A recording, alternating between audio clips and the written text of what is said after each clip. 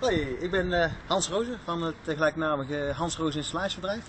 Ik doe eh, elektrowerk, loodgietswerk, dakwerk, zinkengoten, cv onderhoud, reparaties aan cv. houtbewerkingsmachines repareer ik ook. En, ik doe eigenlijk van alles door elkaar. Dus als u mij nodig heeft voor een of ander klusje, dan kunt u me bellen. u kunt mij vinden op hansrozen.nl. Goedjes.